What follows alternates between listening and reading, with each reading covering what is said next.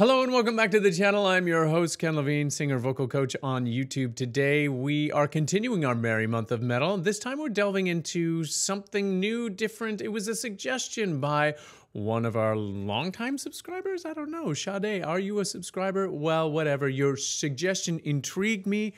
This is uh, what she writes. I have not seen a reaction to this, but my favorite vocal live performance of all time Nope, live performance ever, not of all time.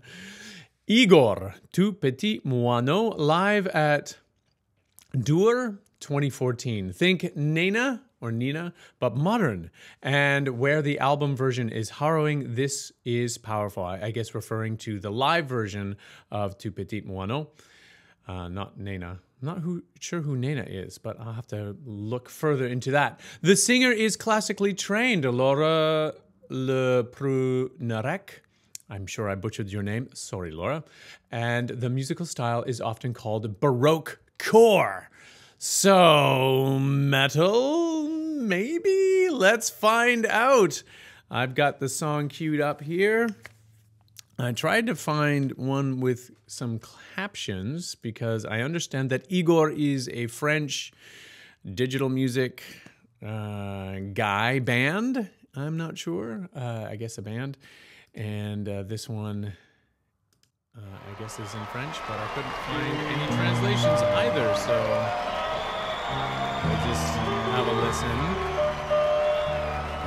and see where it takes us.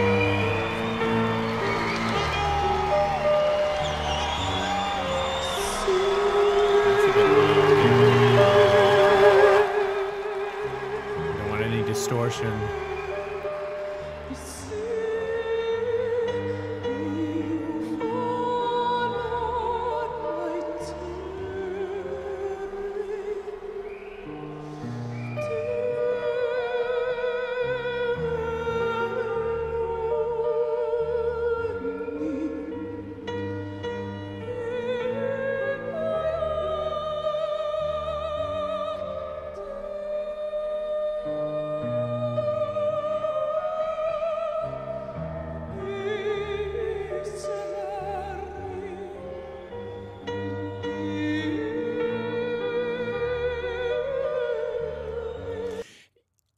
Immediately struck classical singers, especially operatically trained classical voices, have a really difficult time sounding good with a microphone jammed up right next to their their lips. It's it's a, a trade off between uh, the tone quality plus the the carrying power that the operatically trained voice is intended to capture, uh, to be able to project your voice over a 50 piece orchestra, essentially, um, you have to imagine that the person's eardrum is, you know, 50 feet away from you and you're really um, projecting that kind of power behind your voice. But when you're singing directly, into the microphone, I always imagine that this is someone's eardrum. So you don't ever want to be any louder than lovely. So the trade off is how much tone versus air.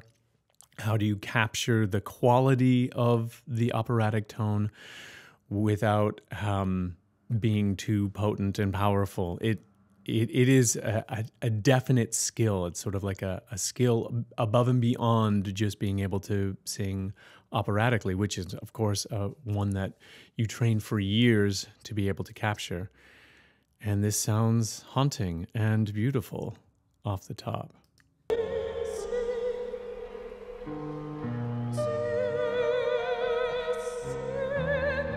Wonderfully balanced.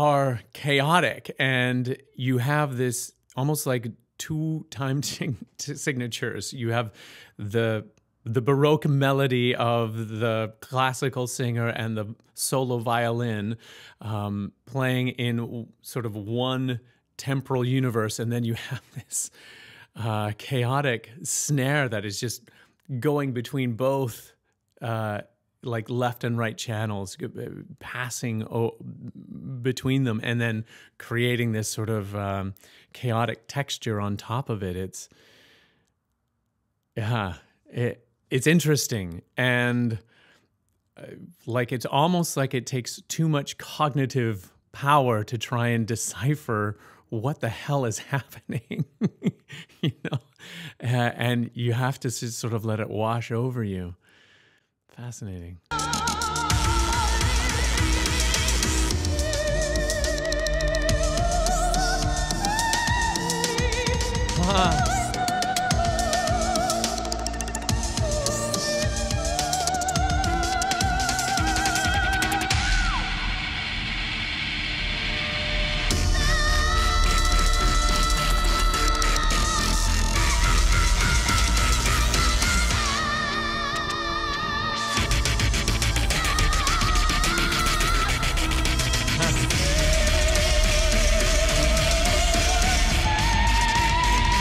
This is an outdoor festival somewhere. Everyone is shirtless. It must be very hot. Everyone's in this sort of frenzied state, except for this one girl. Where? Yeah, yeah, this this gal right here.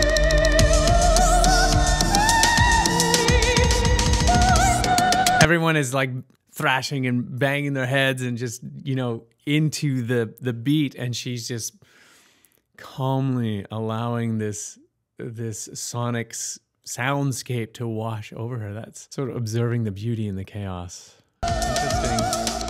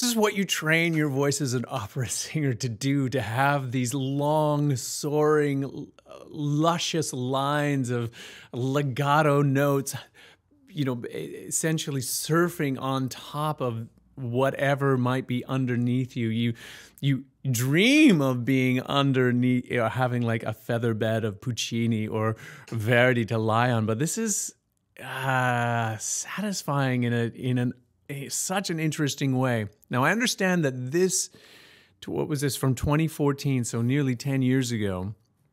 And uh, I think the album, I did a little, a little bit of research. I didn't want to go in totally cold. Uh, it was from 2012, maybe was released. So whoever is at this festival obviously understands a little bit of what Igorrr is all about. But it's fascinating that, you know, that opera would be melded in, or that classical vocal sound would be melded in this way, and then teasing out this sort of violent side of uh, you know from going from this sublime to this this incredibly aggressive vocal tone. Incredible singing.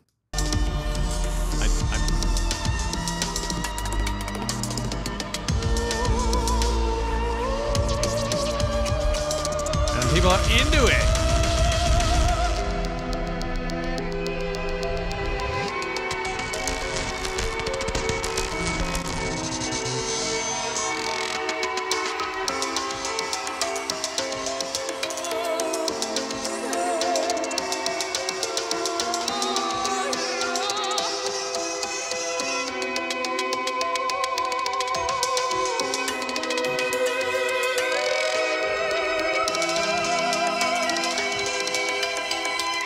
Looks as though she's just making this up on the spot. The ability to be able to uh, improvise on top of this chaos with your voice. And there was a lot of seamless moments where everything just seemed to coalesce magically and being alignment. I'm not sure if this is improvised or not, but someone knows. I don't. Leave your comments down below.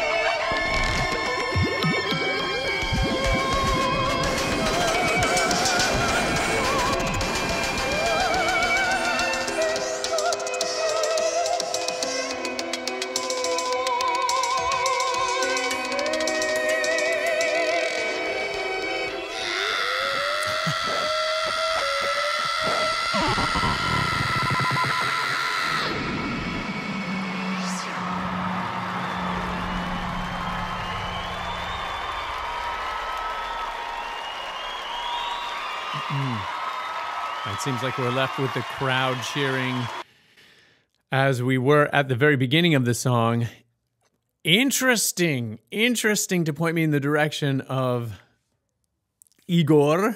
Uh, understand there's a whole catalog of Igorrr tunes, and I think they might be out on tour as well uh, in the coming months. So you can check them out live just to see I, am not sure if the original lineup is. is. Again, this is from 10 years ago, so I, I, don't know if the singers are still the same or not, or whether Igorrr is one musician or a whole band. Or again, I need to go down the rabbit hole a little bit further.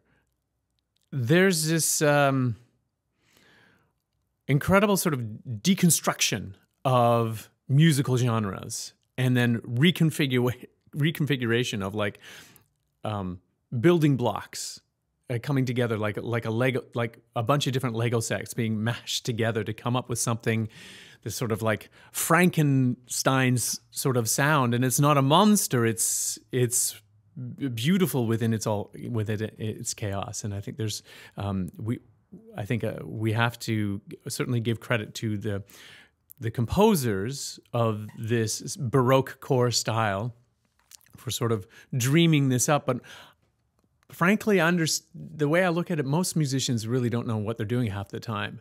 In, in when they're in that creative zone, they go down into that primordial sort of soup of creativity and come back up and they're like i don't even know what this is. I don't know how i got it but here it is. And they present it and just see where it lands. And um, sometimes we're very precious with our creations and and don't want anyone to harm our little babies but this one seems like it has its own legs and is robust enough to defend itself, as it were. So, anyway, these are just my musings.